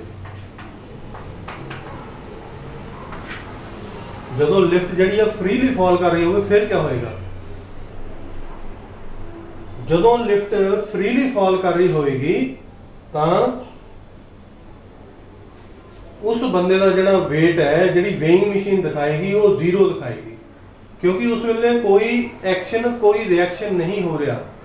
ਦੋਨੇ ਆਬਜੈਕਟ ਜਿਹੜਾ ਹੈ ਇੱਕ ਜਿਹੜਾ ਪਰਸਨ ਹੈ, ਜਿਹਦਾ ਮਾਸ ਸਮਾਲ m ਹੈ, ਠੀਕ ਹੈ, ਉਹ ਵੀ ਸਮਾਲ ਜੀ ਗ੍ਰੈਵਿਟੀ ਨਾਲ ਥੱਲੇ ਜਾ ਰਿਹਾ ਤੇ ਜਿਹੜੀ ਲਿਫਟ ਆ, ਉਹ ਵੀ ਸਮਾਲ ਜੀ ਗ੍ਰੈਵਿਟੀ ਨਾਲ ਜਿਹੜੀ ਹੈ ਐਕਸਲੇਸ਼ਨ ਦੇ ਨਾਲ ਥੱਲੇ ਜਾ ਰਹੀ ਹੈ। ਸੋ ਦੋਨਾਂ ਦਾ ਇੱਕ ਦੂਜੇ ਦੇ ਉੱਪਰ ਐਕਸ਼ਨ ਤੇ ਰਿਐਕਸ਼ਨ ਨਹੀਂ ਹੋ ਰਿਹਾ ਉਸ ਵੇਲੇ। ਇਸ ਕਰਕੇ ਜਿਹੜਾ ਉਹ ਪਰਸਨ ਹੈ, ਉਹਦਾ ਜਿਹੜਾ weight ਹੈ ਐਪਰੈਂਟ weight ਹੈ, ਉਹ ਜ਼ੀਰੋ ਹੋਏਗਾ, ਜਿਹਨੂੰ ਅਸੀਂ ਕਹਿੰਦੇ weightlessness ਠੀਕ ਹੈ ਨਾ, ਉਹਨੂੰ ਆਪਾਂ ਕਹਿੰਦੇ weightlessness ਸੋ ਜੇ ਤੁਹਾਨੂੰ ਕੁਐਸਚਨ ਆ ਜਾਵੇ ਕਿ weightlessness ਕਿਹਨੂੰ ਕਹਿੰਦੇ ਆਪਾਂ, ਤਾਂ ਤੁਸੀਂ ਉਹਦਾ ਜਵਾਬ ਇਹ ਦੇਣਾ ਕਿ ਜਦੋਂ ਕੋਈ ਲਿਫਟ ਦੇ ਵਿੱਚ ਕੋਈ ਬੰਦਾ ਬੈਠਾ ਹੈ, ਮੰਨ ਲਓ ਖੜਾ ਹੈ ਜਾਂ, ਠੀਕ ਹੈ, ਤੇ ਜੇ ਉਹ ਲਿਫਟ ਜਿਹੜਾ ਹੈ, ਉਹਦਾ ਸਟ੍ਰਿੰਗ ਜਿਹੜਾ ਜਿਸ ਕੇਬਲ ਦੇ ਨਾਲ ਉਹ ਜੁੜੀ ਹੋਈ ਲਿਫਟ ਉੱਪਰੋਂ ਮੰਨ ਲਓ, ਉਸ ਕੇਬਲ ਨੂੰ ਕੱਟ ਦਿੱਤਾ ਜਾਵੇ। ਠੀਕ ਹੈ ਨਾ, ਉਸ ਕੇਬਲ ਨੂੰ ਜਿੱਦਾਂ ਹੁਣ ਮੰਨ ਲਓ ਐਰੋਪਲੇਨ ਹੈ ਐਰੋਪਲੇਨ ਦੇ ਵਿੱਚ ਅਸੀਂ ਸਫ਼ਰ ਕਰ ਰਹੇ ਹਾਂ। ਠੀਕ ਹੈ ਜੇ ਉਹ ਮੰਨ ਲਓ ਐਰੋਪਲੇਨ ਕ੍ਰੈਸ਼ ਹੋ ਜਾਵੇ, ਉਹਦਾ ਆਪਣੇ ਆਪ ਤੇ ਕੋਈ ਵੀ ਕੰਟਰੋਲ ਨਾ ਰਹੇ, ਥੱਲੇ ਗਿਰ ਰਿਹਾ ਐਰੋਪਲੇਨ ਤਾਂ ਉਹਦੇ 'ਚ ਜਿਹੜੇ ਪੈਸੇਂਜਰ ਹੈ, ਉਹਨਾਂ ਦਾ ਉਸ ਵੇਲੇ weight ਕਿੰਨਾ ਹੋਏਗਾ? ਜੇ ਉਹ ਕਿਸੇ ਵੇਇੰਗ ਮਸ਼ੀਨ ਦੇ ਉੱਪਰ ਖੜੇ ਹੋਣ, ਤਾਂ ਉਹਨਾਂ ਦਾ weight ਜਿਹੜਾ ਉਹ weighing ਮਸ਼ੀਨ ਕਿੰਨਾ ਸ਼ੋ ਕਰੇਗੀ? ਜ਼ੀਰੋ ਸ਼ੋ ਕਰੇਗੀ। ਠੀਕ ਹੈ? ਤੇ ਉਸ ਕੇਸ ਨੂੰ ਆਪਾਂ ਕਹਿੰਦੇ weightlessness ਠੀਕ ਹੈ? ਸੋ ਇਹ ਚਾਰ ਕੇਸਿਸ ਹੈਗੇ ਅਲੱਗ-ਅਲੱਗ। Apparent weight of a man in an elevator or lift ਜਦੋਂ ਲਿਫਟ ਜਿਹੜੀ ਆ ਅਪਵਰਡ ਜਾ ਰਹੀ ਹੋਵੇ ਤਾਂ ਉਹਦਾ ਜਿਹੜਾ weight ਹੈ ਉਹ ਵਧਿਆ ਹੋਇਆ ਸ਼ੋ ਕਰੇਗੀ ਮਸ਼ੀਨ ਜੇ ਉਹ ਲਿਫਟ ਜਿਹੜੀ ਹੈ ਡਾਊਨਵਰਡ ਜਾ ਰਹੀ ਹੈ, ਤਾਂ ਉਹ ਮਸ਼ੀਨ ਜਿਹੜਾ ਉਸ ਬੰਦੇ ਦਾ weight ਨਾਰਮਲ ਨਾਲੋਂ ਘੱਟ ਸ਼ੋ ਕਰੇਗੀ। ਠੀਕ ਹੈ? ਜੇ ਐਕਸਲੇਸ਼ਨ 0 ਹੈ ਜਾਂ moving with uniform velocity velocity ਨਹੀਂ ਚੇਂਜ ਹੋ ਰਹੀ। ਜੇ 5 ਮੀਟਰ ਪਰ ਸੈਕਿੰਡ ਨਾਲ ਚੱਲ ਰਹੀ, ਤਾਂ 5 ਮੀਟਰ ਪਰ ਸੈਕਿੰਡ ਨਾਲ ਹੀ ਥਰੂ ਆਊਟ ਚੱਲ ਰਹੀ ਹੈ ਜੇ। ਤਾਂ ਵੀ ਉੱਥੇ ਜਿਹੜਾ ਐਕਸਲੇਸ਼ਨ ਆ ਉਹ ਜ਼ੀਰੋ ਹੋ ਜਾਏਗਾ। ਉਸ ਕੇਸ ਦੇ ਵਿੱਚ ਜਿਹੜਾ ਬੰਦੇ ਦਾ weight ਹੈ, ਉਹ ਨਾਰਮਲ ਰਿਐਕਸ਼ਨ ਦੇ ਇਕੁਅਲ ਹੋਏਗਾ। ਮਤਲਬ ਉਹਦਾ ਜਿਹੜਾ ਮਸ਼ੀਨ ਜਿਹੜਾ ਹੈ ਸ਼ੋ ਕਰੇਗੀ, ਉਹ ਨਾਰਮਲ weight ਜਿੰਨਾ ਬੰਦੇ ਦਾ ਹੈ ਉਨਾ ਹੀ ਸ਼ੋ ਕਰੇਗੀ, ਨਾ ਘੱਟ, ਨਾ ਜ਼ਿਆਦਾ। ਇਸੇ ਤਰ੍ਹਾਂ ਜਿਹੜਾ ਚੌਥਾ ਕੇਸ ਹੈ, ਉਹ ਹੈਗਾ ਫ੍ਰੀਲੀ ਫਾਲ ਦਾ। ਫ੍ਰੀਲੀ ਫਾਲ ਦੇ ਵਿੱਚ ਕੀ ਹੋਏਗਾ? weightlessness ਹੋਏਗੀ। ਮਤਲਬ ਉਸ ਮਸ਼ੀਨ ਜਿਹੜੀ ਹੈ ਉਹ ਉਹ ਜ਼ੀਰੋ weight ਜਿਹੜਾ ਉਹਦਾ ਸ਼ੋ ਕਰੇਗੀ। ਸੋ ਇਹ ਸੀਗਾ question number 17 apparent weight of a man in an elevator or lift I hope ਕਿ ਤੁਹਾਨੂੰ ਇਹ ਚੰਗੀ ਤਰ੍ਹਾਂ ਸਮਝ ਆ ਗਿਆ ਹੋਣਾ ਤੇ ਅਸੀਂ ਇੱਕ ਇੱਕ ਨੂਮੈਰੀਕਲ ਕਰਾਂਗੇ ਸੋ ਬੇਟਾ ਇੱਕ ਨੂਮੈਰੀਕਲ ਕਰਦੇ ਹਾਂ ਆਪਾਂ an elevator weighs 4000 kg when the upward tension in the supporting cable is 48000 newton what is the upward acceleration upward acceleration ਅਸੀਂ ਪਤਾ ਕਰਨਾ ਤੇ ਦੂਜਾ ਪਾਰਟ ਹੈ ਦਾ starting from rest how far does it rise in 3 second 3 second ਦੇ ਵਿੱਚ ਉਹ ਜਿਹੜੀ ਐਲੀਵੇਟਰ ਹੈ ਲਿਫਟ ਹੈ, ਉਹ ਕਿੰਨਾ ਉੱਪਰ ਜਾਏਗੀ? ਸੋ ਲਿਫਟ ਵਾਸਤੇ ਅਸੀਂ ਹੁਣੇ ਕਰਕੇ ਹਟੇ ਆ ਸੋ ਇਹ ਲਿਫਟ ਹੈ। ਠੀਕ ਹੈ? ਤੇ ਇਹ ਸਟ੍ਰਿੰਗ ਹੈ ਜਿਹਦੇ ਨਾਲ ਉਹ ਬੰਨੀ ਹੋਈ ਹੈ ਉੱਪਰ। ਠੀਕ ਹੈ? ਤੇ ਜਦੋਂ ਇਸ ਲਿਫਟ ਦਾ weight ਜਿਹੜਾ ਉਹ ਡਾਊਨਵਰਡ ਲੱਗੇਗਾ। ਠੀਕ ਹੈ? weight ਇਹਦਾ ਹੋਏਗਾ mg ਤਾਂ ਟੈਨਸ਼ਨ ਜਿਹੜੀ ਹੈ ਆਪੋਜ਼ਿਟ ਡਾਇਰੈਕਸ਼ਨ ਦੇ ਵਿੱਚ ਕ੍ਰੀਏਟ ਹੋਏਗੀ। T ਟੈਂਸ਼ਨ ਹੋ ਜਾਏਗੀ। ਤੇ ਲਿਫਟ ਜਿਹੜੀ ਅਪਵਰਡ ਮੂਵ ਕਰ ਰਹੀ ਹੈ, ਮਤਲਬ m a ਐਕਸਲੇਸ਼ਨ a ਹੈ ਇਹਦਾ। ਠੀਕ ਹੈ ਨਾ? ਜੇ ਸਿਰਫ ਆਪਾਂ ਐਕਸਲੇਸ਼ਨ ਦੀ ਗੱਲ ਕਰੀਏ ਤਾਂ a ਹੈ।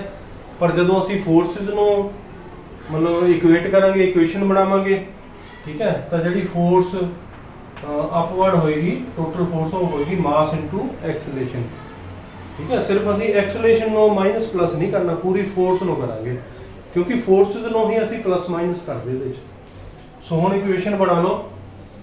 ਹੁਣ ਦੇਖੋ, ਜਦੋਂ ਲਿਫਟ ਜਿਹੜੀ ਅਪਵਰਡ ਜਾ ਰਹੀ ਹੈ, ਮਤਲਬ t ਉਹਦੇ ਵਿੱਚ ਜ਼ਿਆਦਾ ਹੋਏਗਾ। T should be greater than mg or ਉਹ t ਕਿੰਨਾ ਜ਼ਿਆਦਾ ਹੋਏਗਾ ਜਿਸ ਫੋਰਸ ਨਾਲ ਉਹ ਲਿਫਟ ਉੱਪਰ ਜਾ ਰਹੀ ਹੈ। So t mg m t tension ਹੈ ਜਿਹੜੀ ਰੋਪ ਦੇ ਵਿੱਚ ਕ੍ਰੀਏਟ ਹੋਈ। ਉਹਦੇ weight ਕਰਕੇ weight ਡਾਊਨਵਰਡ ਹੈ ਟੈਨਸ਼ਨ ਅਪਵਰਡ ਹੈ। ਕਿਉਂਕਿ ਲਿਫਟ ਉੱਪਰ ਜਾ ਰਹੀ ਹੈ, ਇਸ ਕਰਕੇ t ਦੀ ਵੈਲਿਊ ਜ਼ਿਆਦਾ ਹੋਏਗੀ। ਜੇ ਲਿਫਟ ਥੱਲੇ ਜਾ ਰਹੀ ਹੁੰਦੀ ਤਾਂ t ਦੀ ਵੈਲਿਊ ਘੱਟ ਹੋਣੀ ਸੀ mg ਨਾਲੋਂ। ਠੀਕ ਹੈ? ਸੋ ਹੁਣ t mg ਕਿੰਨਾ ਹੋਏਗਾ? ਅਪਵਰਡ ਐਕਸਲੇਸ਼ਨ a ਹੈ ਤੇ ਇਹਦਾ ਮਾਸ ਜਿਹੜਾ ਉਹ m ਹੈ। So m a upward force ਹੋਏਗੀ। ਜਦੋਂ ਅਸੀਂ ਫੋਰਸਸ ਨੂੰ ਇਕੁਏਟ ਕਰਾਂਗੇ, ਤਾਂ ਇਹ ਦੋ ਫੋਰਸਸ ਉੱਪਰਲੇ ਪਾਸੇ ਆ ਤੇ ਆ ਇੱਕ ਫੋਰਸ ਥੱਲੇ ਥੱਲੇ ਵਾਲੇ ਪਾਸੇ ਹੈ। ਠੀਕ ਹੈ? ਸੋ ਇਹ ਸਾਡੇ ਕੋਲ ਇਕੁਏਸ਼ਨ ਬਣ ਗਈ। ਤੇ ਹੁਣ ਅਸੀਂ ਵੈਲਿਊਜ਼ ਪੁੱਟ ਕਰਦੇ ਹਾਂ। T ਜਿਹੜਾ ਟੈਂਸ਼ਨ ਦੀ ਵੈਲਿਊ ਕਿੰਨੀ ਹੈ? Tension in the supporting cable is 48000 newton ਸੋ ਇੱਥੇ ਆ ਜਾਏਗਾ 48000 ਮਾਈਨਸ mg ਕਿੰਨਾ ਹੈ?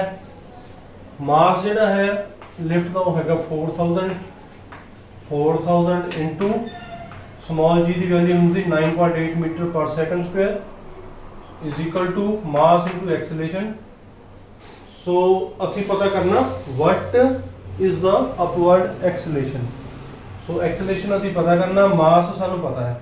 ਮਾਸ ਹੈ 4000 kg ਤੇ ਐਕਸਲੇਸ਼ਨ ਅਸੀਂ ਪਤਾ ਕਰਨਾ। ਸੋ ਇਹ ਸਾਡੇ ਕੋਲ ਇਕੁਏਸ਼ਨ ਬਣ ਗਈ। ਇਹਦੇ ਚੋਂ ਅਸੀਂ ਐਕਸਲੇਸ਼ਨ ਪਤਾ ਕਰ ਸਕਦੇ ਹਾਂ। ਸੋ ਇਹਨਾਂ ਦੋਨਾਂ ਨੂੰ ਮਲਟੀਪਲਾਈ ਕੀਤਾ ਤੇ 48000 ਚੋਂ ਅਸੀਂ ਮਾਈਨਸ ਕਰ ਦਿਆਂਗੇ। ਸੋ ਜਦੋਂ ਇਹਨਾਂ ਦੋਨਾਂ ਨੂੰ ਮਲਟੀਪਲਾਈ ਕੀਤਾ ਤਾਂ ਆ ਗਿਆ ਸਾਡੇ ਕੋਲ 4000 98/10 4000 into 98 by 10 ਇੱਕ ਜ਼ੀਰੋ ਦਾ ਜ਼ੀਰੋ ਕੈਨਸਲ ਹੋ ਗਈ।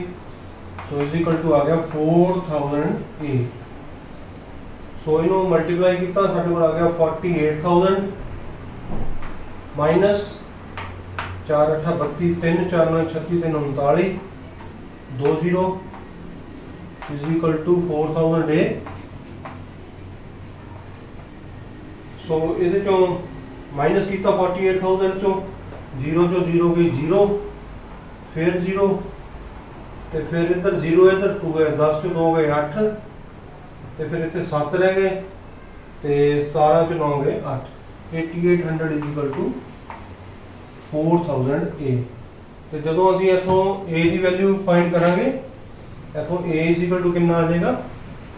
A ਆ ਜਾਏਗਾ ਸਾਡੇ ਕੋਲ 8800 divided by 4000 8800 divided by 4000 ਸੋ 2 0 ਨਾਲ 2 0 ਕੱਟ ਗਈ।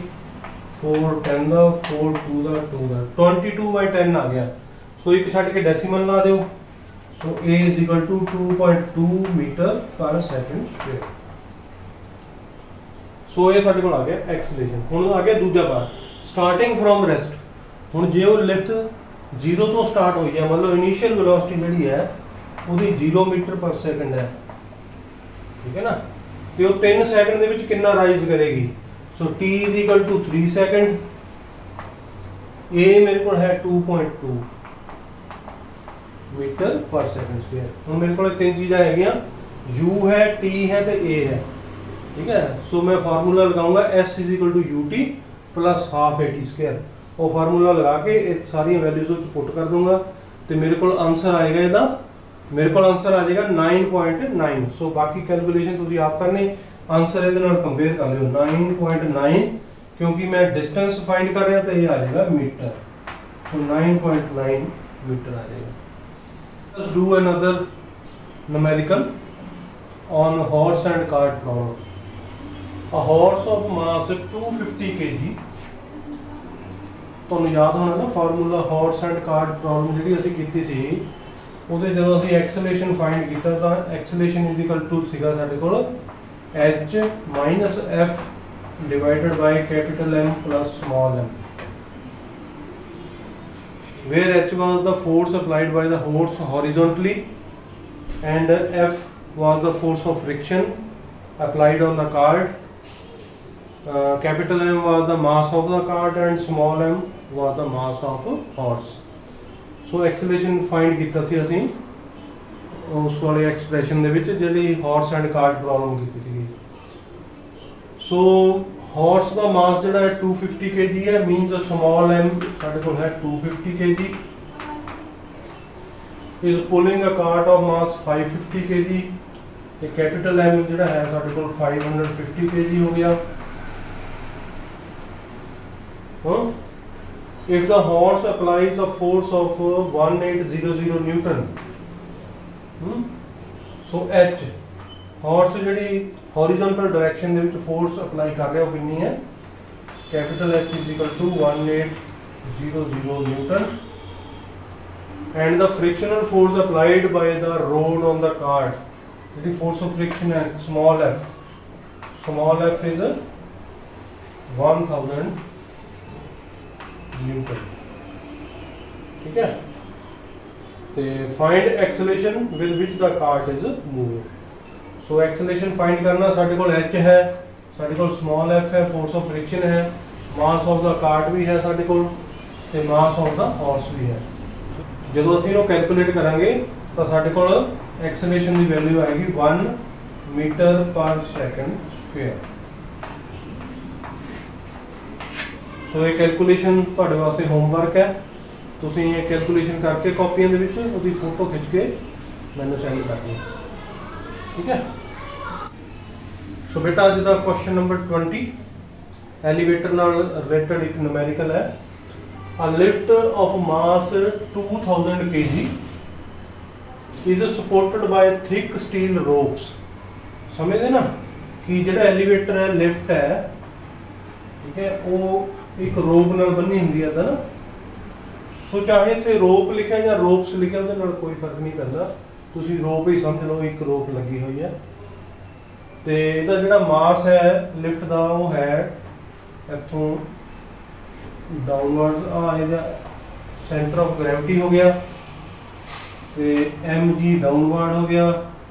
ਤੇ ਜਿਹੜੀ ਟੈਂਸ਼ਨ ਕ੍ਰੀਏਟ ਹੋਈ ਇਸ ਰੋਪ ਦੇ ਵਿੱਚ, ਉਹ t ਹੋ ਗਈ। ਤੇ ਲਿਫਟ ਜਿਹੜੀ ਹੈ ਉਹ ਇੱਕ maximum upward acceleration of the lift ਮਤਲਬ ਅਪਵਰਡ ਐਕਸਲੇਸ਼ਨ ਸੋ ਲਿਫਟ ਕਿੱਧਰ ਨੂੰ ਜਾ ਰਹੀ? ਉੱਪਰਲੇ ਪਾਸੇ ਜਾ ਰਹੀ।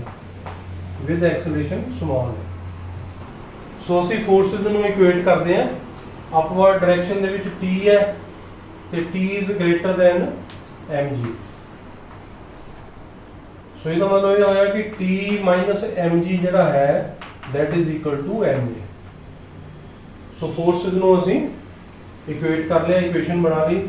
ਸੋ ਇਥੋਂ t is equal ਕਿੰਨਾ ਆ ਗਿਆ? Mg plus m a ਆ ਗਿਆ। ਸੋ t ਦੀ ਵੈਲਿਊ ਜਿਹੜੀ ਹੈ, ਉਹ ਅਸੀਂ ਫਾਈਂਡ ਕਰਾਂਗੇ। M ਸਾਡੇ ਕੋਲ ਹੈ। M ਕਿੰਨਾ ਸਾਡੇ ਕੋਲ? 2000 kg ਸੋ ਇਹਨੂੰ ਕਾਮਨ ਲੈ ਲਓ। ਸਮਾਲ g ਜਿਹੜਾ, ਉਹ 9.8 ਹੈ। ਪਲੱਸ ਕਿਸ ਐਕਸਲੇਸ਼ਨ ਨਾਲ ਜਾ ਰਹੀ ਲਿਫਟ ਉੱਪਰ ਨੂੰ? 1.2 ਮੀਟਰ ਪਰ ਸੈਕਿੰਡ ਸਕੁਅਰ ਨਾਲ ਸੋ ਇੱਥੇ 1.2 ਆ ਗਿਆ। ਸੋ ਦੋਨਾਂ ਨੂੰ ਐਡ ਕੀਤਾ ਤਾਂ ਸਾਡੇ ਕੋਲ ਆ ਗਿਆ ਇਹ 11 ਸੋ 11 into 2000 ਆ ਗਿਆ 22000 ਨਿਊਟਨ ਸੋ ਇਹ ਆ ਗਈ ਸਾਡੇ ਕੋਲ t ਦੀ ਵੈਲਿਊ ਤੇ ਅੱਗੇ ਕੀ ਲਿਖਿਆ ਉਹਨੇ? And the breaking stress for the rope will be this ਠੀਕ ਹੈ ਨਾ? ਇੰਨੀ ਸਟ੍ਰੈਸ ਜਿਹੜੀ ਆ ਰੋਪ ਸਹਿ ਸਕਦੀ ਹੈ, ਮਤਲਬ ਫਿਰ ਟੁੱਟ ਜਾਏਗੀ। ਜੇ ਤੋਂ ਜ਼ਿਆਦਾ ਸਟ੍ਰੈਸ ਪਏਗੀ ਉਹਦੇ ਤੇ, ਤਾਂ ਉਹ ਰੋਪ ਜਿਹੜੀ ਆ ਉਹ ਟੁੱਟ ਜਾਏਗੀ। ਸੋ ਜਿਹੜੀ ਸਟ੍ਰੈਸ ਹੈ, that is equal to stress is equal to ਜਿੰਨੀ ਉਹਦੇ ਵਿੱਚ ਟੈਂਸ਼ਨ ਕ੍ਰੀਏਟ ਹੋਈ ਰੋਪ ਦੇ ਵਿੱਚ divided by cross section area cross section area cross section area ਸਮਝਦੇ ਨਾ, ਜਿਸ ਤਰ੍ਹਾਂ ਇਹ ਚੌਕ ਹੈ। ਆ ਚੌਕ ਦੇ ਜਿਹੜੇ ਸਾਹਮਣੇ ਵਾਲੀ ਸਾਈਡ ਹੈ। ਠੀਕ ਹੈ ਨਾ? ਇਹਦਾ ਏਰੀਆ ਜੇ ਆਪਾਂ ਫਾਈਂਡ ਕਰ ਲਈਏ, ਜੇ ਮੈਂ ਚੌਕ ਦੇ ਸਾਹਮਣੇ ਉਹਦੀ ਫੋਟੋ ਖਿੱਚਾਂ ਤਾਂ ਮੈਨੂੰ ਇਦਾਂ ਦਾ ਦਿਖਾਈ ਦੇਊਗਾ। ਸੋ ਕਿਹੜੀ ਸ਼ੇਪ ਹੈ? ਇਹ ਸਰਕੂਲਰ ਸੋ ਇਹਦਾ ਏਰੀਆ ਕਿੰਨਾ ਆਏਗਾ? ਇਹਦਾ ਏਰੀਆ ਆਏਗਾ ਪਾਈ ਆਰ ਸਕੁਅਰ ਜਿਹੜਾ ਸਰਕਲ ਹੈ, ਉਹਦਾ ਏਰੀਆ ਕਿੰਨਾ ਹੁੰਦਾ? Pi r square so cross section area ਇੱਥੇ ਅਸੀਂ ਪਾਈ ਆਰ ਸਕੁਅਰ ਲਵਾਂਗੇ ਠੀਕ ਹੈ? ਤੇ ਆਪਾਂ ਪਤਾ ਕੀ ਕਰਨਾ? ਡਾਇਮੀਟਰ ਆਫ ਦਾ ਰੋਪ ਪਤਾ ਕਰਨਾ।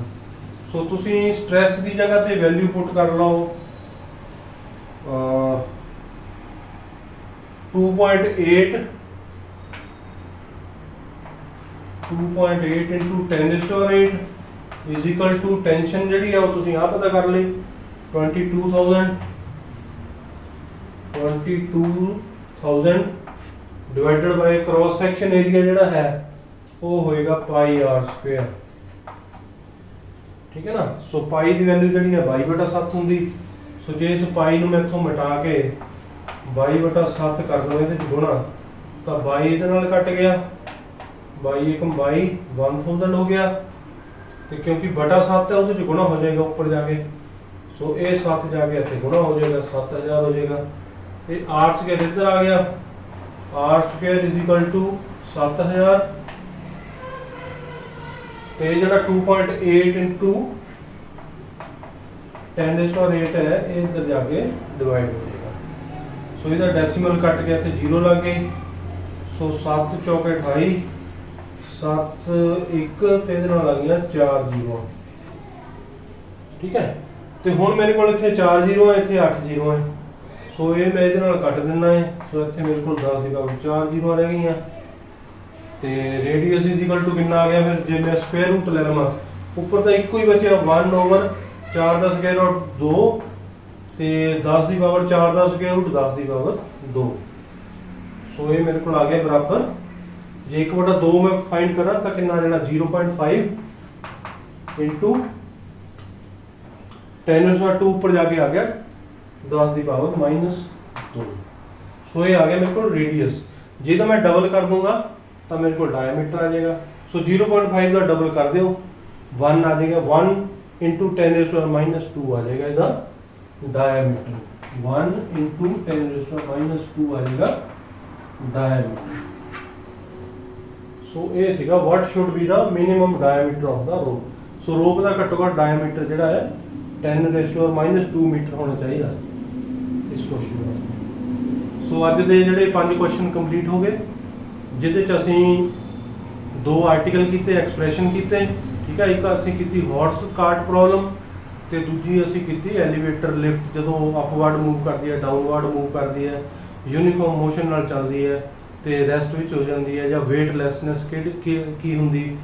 ਠੀਕ ਹੈ, ਇਹ ਸਾਰਾ ਕੁਝ ਅੱਜ ਅਸੀਂ ਪੜ੍ਹਿਆ ਤੇ ਉਹਦੇ ਨਾਲ ਰਿਲੇਟਡ ਅਸੀਂ ਤਿੰਨ ਨੋਮੈਰੀਕਲ ਕੀਤੇ। ਸੋ ਆਈ ਹੋਪ ਕਿ ਤੁਸੀਂ ਐਨ ਚੰਗੀ ਤਰ੍ਹਾਂ ਇੰਜੋਏ ਕੀਤਾ ਹੋਣਾ ਫਿਜ਼ਿਕਸ ਨੂੰ।